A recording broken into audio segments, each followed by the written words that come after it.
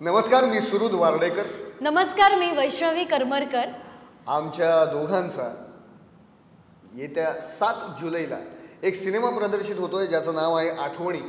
आणि या आठवणीबद्दल सांगायचं झालं तर एक फारच आगळी वेगळी सेन्सिबल प्रेम कथा आहे ही. म्हणजे एकोणीसशे एकोणीसशे सत्तर साली ज्या पद्धतीने प्रेम केलं जायचं आणि त्या गोष्टींना किती छान आपुलकीनी जपायचे लोक. तेच कट टू ऑप उलट ऑपोजिट जे आता ट्वेंटी ट्वेंटी थ्रीमध्ये काय होतंय? तुम्ही सांगा. एक्झॅक्टली आपण बघतो ट्वेंटी ट्वेंटी थ्री किंवा नवीन पिढी फार प्रेमाला ग्रँटेड घेते. राईट.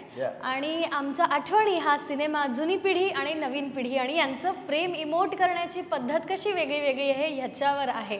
एक्झॅक्टली कारण आजच्या पिढीला ते इमोट करायला किंवा त्या गोष्टी जपायला वेळ नाही आहे. सगळं इतकं फास्ट फॉरवर्डमध्ये चाललंय ना की डिरेक्टली आपण एखाद्याचा डी पी बघतो आणि लगेच इंस्टाग्रामवर मेसेज टाकतो that oh I think I like you oh I think I am love with you पण ह्या गोष्टी टप्प्याटप्प्याने जर झाल्या किंवा त्याला जर आपण जास्त महत्त्व दिलं तर त्या किती छान रुजू शकतात आणि किती छान बहरू शकतात.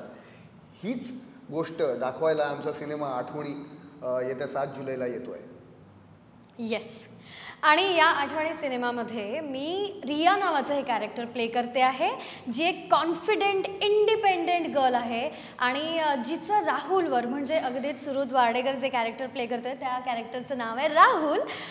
तिचं राहुलवर खूप प्रेम आहे आणि तिचं म्हणणं असं आहे की तू रायटर आहेस पण मी वेल सेटल्ड आहे. आपण लग्न करूयात आणि आपण सेटल होऊयात. तुला जी काही फायनान्शियली हेल्प हवी आहे ती आय डू इट सो अशी ही स्ट्रॉंग इंडिपेंडेंट रिया आहे. सुरुद तुझ्या कॅरेक्टरबद्दल सांग. एक्झॅक्टली वैष्णवी म्हणाली राहुल नाम तो सुना ही होगा. तो I am playing Rahul who's a writer so लेखक आहे आणि तो त्याच्या एका स्टोरीच्या शोधात आहे. आणि त्या स्टोरीच्या शोधात असताना तो काय काय करतो? कुठे कुठे फिरतो किती त्याचं त्याचा मनस्ताप होतो तो किती फ्रस्ट्रेशनमध्ये आहे तो किती डिप्रेशनमध्ये आहे त्याला काय काय गोष्टी झेलावं लागत आहेत ॲट द सेम टाइम रियाला त्याला झेलावं लागतंय. आणि तो तिला कसा इग्नोर करतोय. आणि या कसा ग्रँटेड घेतो आहे.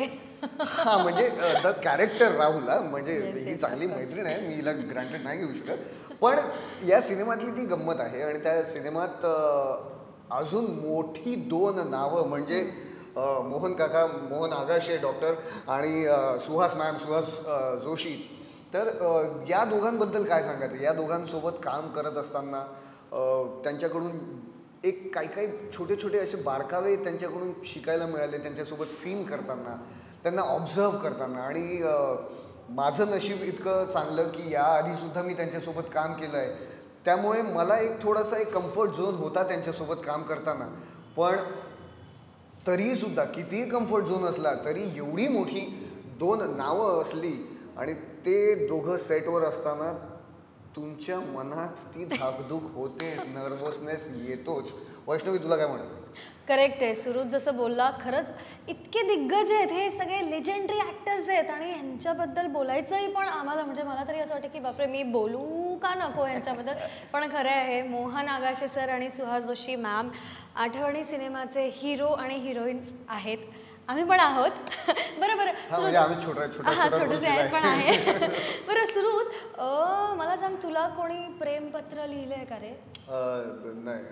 तू लिहिली आहेस. नो पर्सनल क्वेश्चन्स हे हे हे या गोष्टी मला प्लीज बोलायच्या नाही आहेत कारण काय आहे हा इंटरव्ह्यू तमाम जनता बघणार आहे. आणि ज्या ज्या मुलींनी आजपर्यंत मला पत्र लिहिलेली आहेत किंवा ज्यांनी अर्धवट सोडलेली आहेत त्यांना वाईट नाही वाटलं पाहिजे.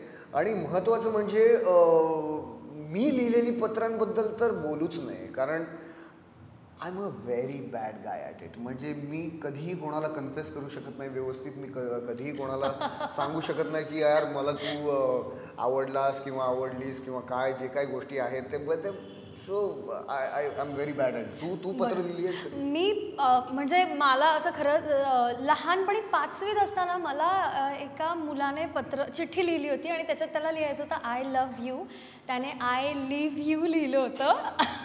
आणि आणि मग मी स्टेजवर वगैरे गेले होते आणि ह्या मुलाने मला आय लिव्ह यू ओचा आय केला त्यांनी.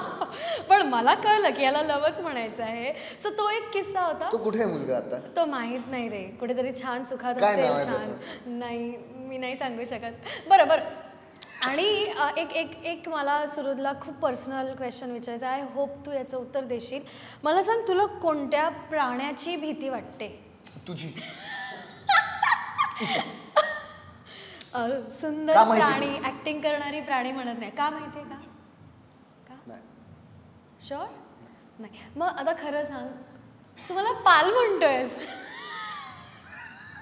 एक्झॅक्टली नाही whatever but no no no no personal jokes please मी मी हे बघा हे हे प्रमोशन वगैरे सगळ्या नाही नाही या प्रमोशन. वगैरे सगळ्या गोष्टी मान्य आहेत पण हे पर्सनल मला आवडणार नाही मी मी निघतो ओके मला वाटतं आपण प्रेक्षकांना पुन्हा एकदा आपल्या आठवणी सिनेमाबद्दल सांगावं. तू तुझ्या आरजे स्टाईलमध्ये सांग ना. हे बघा आम्ही खरंच खूप मस्ती करतोय वगैरे सगळं मान्य आहे. आम्ही धमाल करतो आणि आम्ही सिनेमात सुद्धा सिनेमा शूटिंग करत असताना आम्ही खूप धमाल केली आहे. पण एक्झॅक्टली ऑपोजिट आमच्या ऑपोजिट हा सिनेमा आहे. खूप हो. सेन्सिबल आहे आणि खूप इमोशनल ड्रामा आहे. त्यामुळे आमच्या मस्करीवर आमच्या बोलण्यावर प्लीज थोडंसं दुर्लक्ष करा. आणि सिनेमाचा जो जे टायटल आहे आठवणी आणि हे पोस्टर बघूनच तुम्हाला लक्षात येतं की यात खूप असं इमोशन भरभरून आहे. So please I request you सात जुलै दोन हजार तेवीसला हा सिनेमा प्रदर्शित होतो आहे पूर्ण महाराष्ट्रात. नक्की बघा. आणि अजून एक रिक्वेस्ट करायची आहे सिनेमा बघा. तुम्हाला सिनेमा बघितल्यानंतर कोणाची आठवण येते? मुलाची मुलीची का कोणाची कोण जे- जे कोणी आहे प्लीज आमच्या इंस्टाग्राम पेजवर किंवा आमच्या फेसबुक पेजवर जाऊन आम्हाला तुमचा किस्सा किंवा तुमची ती आठवण प्लीज आमच्यासोबत शेअर करा. म्हणजे आम्हालासुद्धा असं वाटेल की हां we can relate to each other सात जुलै. सात जुलै आठवणी.